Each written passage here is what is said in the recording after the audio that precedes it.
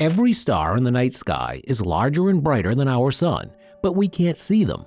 Only a handful of the faintest stars are comparable in size and brightness to the sun, in contrast to about 5,000 brighter stars. Wow, that is certainly food for thought. Have you ever looked up at the stars on a summer night? There were no clouds visible? Can you describe how you felt when you first laid eyes on that vast swath of stars? This is only a sample of the images of star clusters, galaxies, and outer space objects that have been recorded by the James Webb Space Telescope. Make sure to give this video a thumbs up and subscribe to our channel to receive timely alerts about the James Webb Space Telescope and NASA news as it happens. Let's get down to business right away.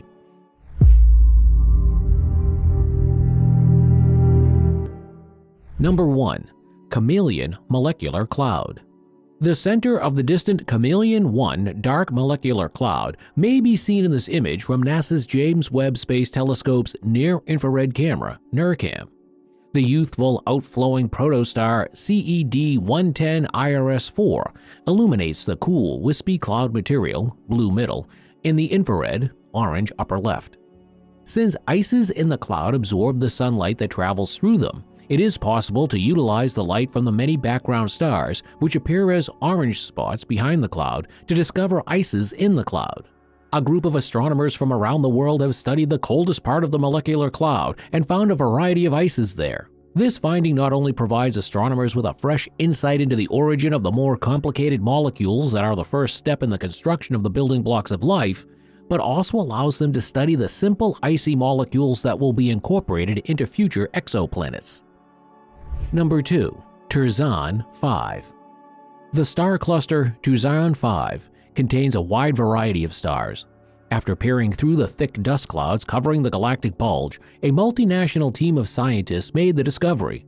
The most recent studies suggest that Terzan 5 is one of the original building blocks that compose the bulge of the Milky Way, suggesting that it is a relic from the very early days of the galaxy. Number 3. KMHK 1137.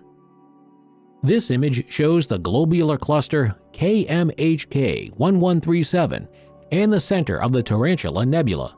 A satellite galaxy of the Milky Way, the Large Magellanic Cloud is a portion of the larger system. The Dorado Nebula is located in the southern constellation of Dorado, the Swordfish, some 170,000 light-years from our galaxy. Number 4. Stellar Explosion in Orion a supernova is the most frequent sort of stellar explosion and is the result of a star's spectacular demise. However, new research into the Orion Nebula has revealed details on explosions that occur during the birth of stars, at the other end of the stellar life cycle.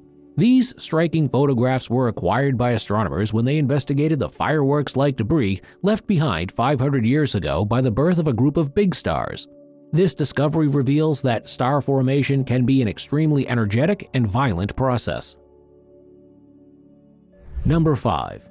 Light Echo from Mysterious Star You can view the star V838 Monocerotis here. There were similarities between the eruption of V838 Monocerotis and the more typical nova. Usually, a nova occurs when a normal star releases hydrogen onto its tiny white dwarf partner star. In a manner similar to a colossal hydrogen bomb, the hydrogen accumulates until it explodes in an act of nuclear fusion. Due to the explosion, the star's core, which is a temperature of hundreds of thousands of degrees Celsius, is now fully exposed. Yet, V838 Monocerotis oddly did not shed its outer covering.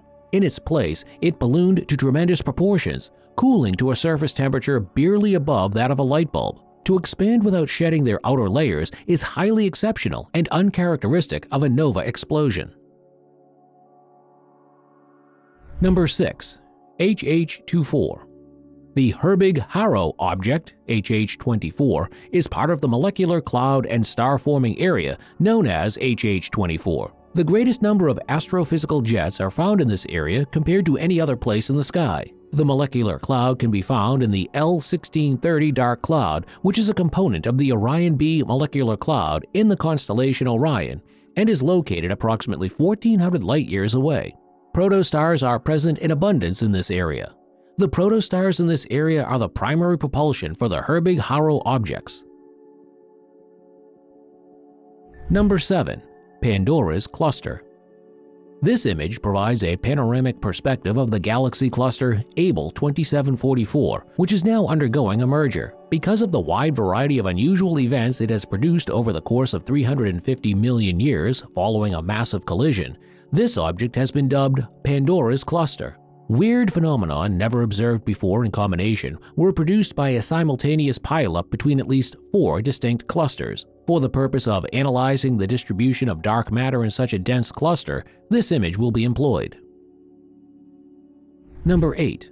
The Cluster of Galaxies, Abell 315. It appears in this picture that thousands of galaxies are jammed into a patch of sky about the size of the moon. The distances to these galaxies differ widely, it is possible to make out the spiral arms of some of their circular halos, indicating that these objects are relatively close, particularly in the upper half of the photograph. Instead, further away objects look like dim blobs. In order to reach Earth, their light had to travel through the cosmos for at least 8 billion years.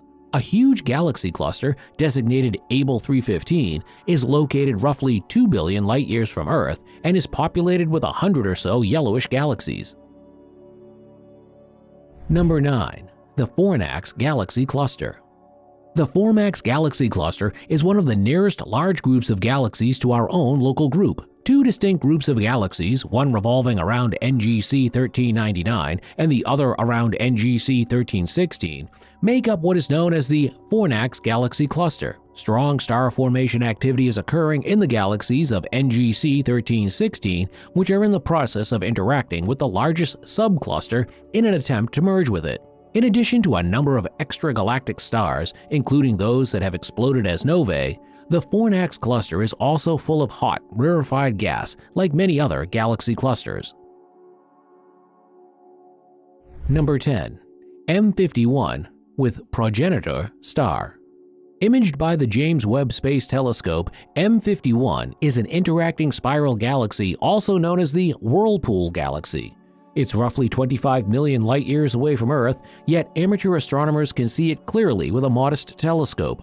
With its continued accelerated pace of star formation, likely the result of gravitational interactions with its companion galaxy, M51 is also a favorite among professional astronomers. Supernovae were also recently seen in this galaxy, the first in 2005 and the second in 2011. Thank you for watching this video through to its end. Which image interested you the most and why? Tell us what you think down below. Like and subscribe if you enjoyed this video to receive updates on the James Webb Space Telescope, NASA announcements, and our newest uploads. We'll be back with another video soon.